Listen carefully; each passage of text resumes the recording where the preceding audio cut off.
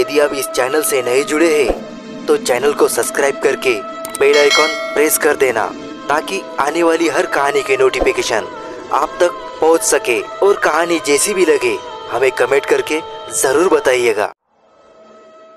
ये कहानी है एक लड़की की, जो अकाल मृत्यु के बाद एक खौफनाक चुड़ैल बन गई, और जिसने अपने हत्यारों पर दर्दनाक कर डाया, जिससे उनकी रूह कप गई। त्रिशा एक सुंदर लड़की थी।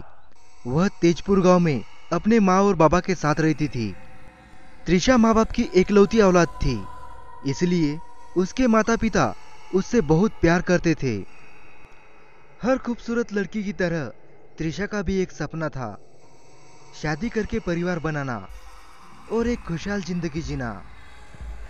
त्रिशा के माता पिता ने उसकी शादी पड़ोस के गाँव के मिथिलेश नामक एक अनाथ लड़के से तय कर दी थी। त्रिशा ने भी अपने माता पिता का मान रखते हुए उस शादी के लिए हाँ कर दी। कुछ ही दिनों में मिथिलेश और त्रिशा एक दूसरे के करीब आने लगे, लेकिन तेजपुर गाँव के सरपंच और उसके भाई बलवंत को यह बात पसंद नहीं आई, क्योंकि सरपंच चाहता था कि त्रिशा की शादी उसके भाई के साथ हो। किसी बाहर गाँव वाले के साथ शादी के वह खिलाफ था।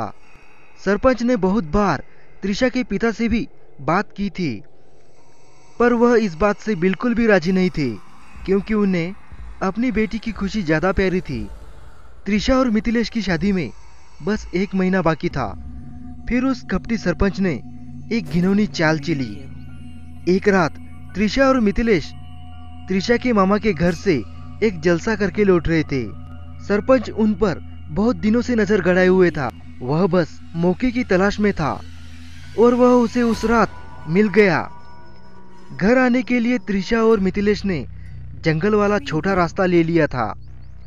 वहाँ सरपंच बलवंत और उसका मुनीम बिरजू तीनों जंगल की घनी झाड़ियों में किसी भेड़िए की तरह घात लगाकर बैठे थे। जब वह प्रेमी जोड़ा, हाथों में हाथ लेकर एक दूसरे में गुम होकर पूरी दुनिया को बुलाकर जंगल के बीचों बीच पहुँचा, तब सरपंच और उसके भाई ने पीछे से आकर बड़े पत्थरों से, दोनों के सिर पर इतनी नफरत से वार किया कि वह दोनों बिना चीखे ही बेहोश हो गए। बिरजू ने मिथिलेश को ठिकाने लगा दिया और तब तक सरपंच और बलवंत ने त्रिशा के साथ वह कर दिया, जिस अपराध से पूरे समाज को नफरत है। अपने नापाक इरादों को अंजाम देने के बाद उन्होंने त्रिशा का गला घोटकर उसे कुएँ में फेंक दिया। अगले दिन त्रिशा के माँ बाबा और गाँव वाले मिथिलेश और त्रिशा को ढूँढने लगे।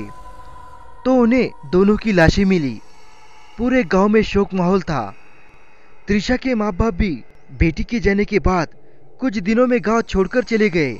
पर त्रिशा, कहते हैं ना, एक लड़की की पवित्र रूह का चुड़ैल बनने का कारण उसकी अधूरी इच्छा होती है। इसलिए त्रिशा को अभी तक मुक्ति नहीं मिली थी। नियति से कहो या बुरी किस्मत से एक शाम, सरपंच बलवंत और बिरजू तीनों शहर के किसी शराब खाने से लौट रहे थे। और उन्होंने भी जंगल का वही छोटा रास्ता चुना। उस वक्त बलवंत नशे में नहीं था, इसलिए वह जीप चला रहा था। और वह ठीक उसी जगह जंगल के बीचों बीच धक्के खाकर खराब हो गई, जहाँ उन्होंने त्रिशा और मिथिलेश को मारा था। दिन ढलने में कुछ ही समय बाकी था। बलवंत ने जीप से उतरकर गाड़ी का बोनेट खोल के चेक किया। पता चला कि जीप में जो पानी था, वो पूरी तरह से खत्म हो चुका था और उनके पास तो पीने के लिए भी पानी नहीं था। जब यह बात बलवंत ने उसके भाई सरपंच को बताई, तब उसने नशे की हालत में बलवंत को गालियाँ बकी और उसे पास के कुएँ से पानी लाने का आदेश दिया। जीप के पीछे की सीट पर बिरजू भी नशे की हालत में सोया था। अब अकेले उसे जंगल के कुएँ पर जाना था। बलवंत मरता क्या न करता। उसने गाड़ी में से पानी की बड़ी सी खाली बोतलें उठाई और अकेले ही कुएँ की तरफ़ चल दिया। जब वह कुएँ के नज़दीक पहुँचा, तब उसे वह सब याद आने लगा, कैसे उन्होंने त्रिशा की हत्या की थी और उसी कुएँ में उसकी लाश को फेंकी थी। बलवंत ने खुद को होश में लाया और कुएँ के पास पानी निकालने की रस्सी ढूँढने लगा, पर उसे वह नहीं मिली। अब बलवंत पर कुएँ में उतरने की नौबत आ गई थी, इसलिए वह मन ही मन डर भी रहा था, क्योंकि सूरज पूरी तरह से ढलने में बस कुछ ही पल बाकी थे। इसलिए बलवंत भागते भागते जीप के पास गया और जीप में से लालटेन और एक छोटी टॉर्च ले ली। बलवंत को बिरजू कुछ कुछ होश में लग रहा था, इसीलिए उसने उसे भी अपने साथ में ले लिया। फिर दोनों मिलकर कुएँ के पास आ गए। तब तक सूरज पूरी तरह ढल चुका था और अंधेरे ने मौत की चादर से जंगल को ढक लिया था। बलवंत ने बिरजू को लालटेन जलाकर दी और कुएँ के पास खड़ा किया। कुएँ को देखकर बिरजू भी डर गया था। उसे भी अपने किए हुए पाप याद आने लगे थे। बलवंत टॉर्च लेकर कुएँ की सीढ़ियों से धीरे धीरे नीचे उतरने लगा। जब वह कुएँ के ठीक बीच में पहुँचा, तब बलवंत को ऐसा महसूस होने लगा कि उसके साथ साथ ही पीछे से कोई नीचे उतर रहा है। बलवंत ने टॉर्च की रोशनी में पलट कर देखा, पर वहाँ कोई नहीं था। उसने एक बार बिरजू को आवाज़ दी, बिरजू! ओ बिरजू! क्या बात है? कुछ नहीं! और उसका जवाब आने के बाद बलवंत फिर से नीचे उतरने लगा। और जब वह आखिरी और सबसे बड़ी सीढ़ी पर जाकर खड़ा हुआ, तभी अचानक उसे बिरजू की दर्दनाक चीख सुनाई दी। चीख की कर्कश आवाज़ से कुएँ के अंदर खड़ा बलवंत सिहर उठा और कुएँ की दीवार से चिपक के खड़ा हो गया। उसे समझ में नहीं आ रहा था कि ऊपर जाओ या नहीं, और तभी अचानक तेज़ी से एक गोल आकार की चीज़ पानी में गिरी। टॉर्च की धीमी रोशनी में बलवंत गिरती चीज़ को सही से देख नहीं पाया। आवाज़ से ही वह बेहद डर गया और कुछ समय के लिए उसने आँखें मूंद ली। और जब उसकी आँख खुली, तब सामने का भयानक नज़ारा देख, मौत की दहशत से उसकी रूह काँप गई।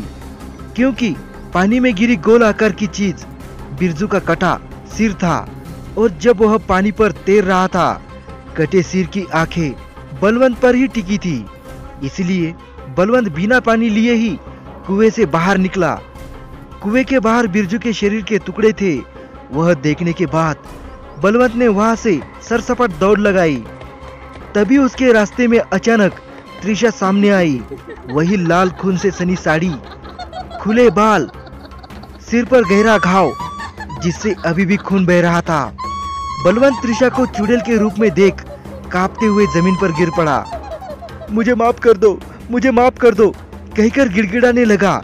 मौका देखकर बलवंत चुड़ैल चुड़ैल चिल्लाते हुए जीप तक पहुँचा।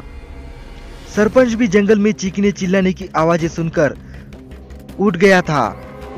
और जब बलवंत ने उसे त्रिशा के बारे में बताया तो पल भर में उसका पूरा नशा उतर गया और दोनों पैदल ही गाँव की ओर भागने लगे।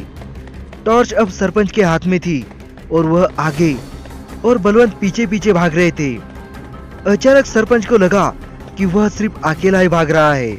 इसीलिए उसने पीछे मुड़कर देखा तो बलवंत अब पीछे नहीं था। उसी वक्त पूरा जंगल बलवंत की मौत की चीख से गूंज उठा और सरपंच को एक आवाज़ सुनाई दी, सरपंच, तुझे इतनी आसान मौत नहीं मिलेगी।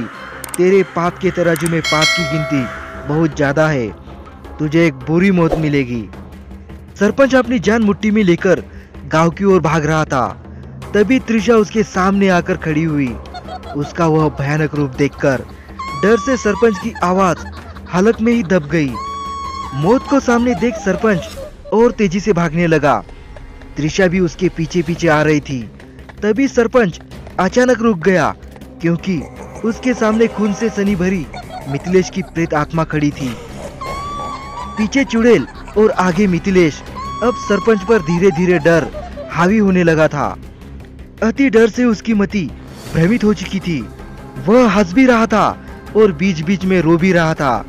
माफ़ी भी मांग रहा था, गाली भी दे रहा था। अगली सुबह गाँव के लोगों को सरपंच कूड़ेदान पर बैठा मिला, जो वहाँ से कूड़ा करकट उठाकर खा रहा था। डर से उसने अपना मानसिक संतुलन खो दिया था। उसके अपने घर वाले भी उसे घर में न रख सके। और कुछ ही दिनों में कूड़ेदान पर ही गाँव के भटकने वाले पागल कुत्तों से खाना छीनते वक्त हुई झड़प में कुत्तों के एक समूह ने उसे ज़िंदा फाड़ दिया। और यह था सरपंच के बुरे कर्मों का अंत। त्रिशा के कहे अनुसार वह एक बहुत बुरी मौत मरा।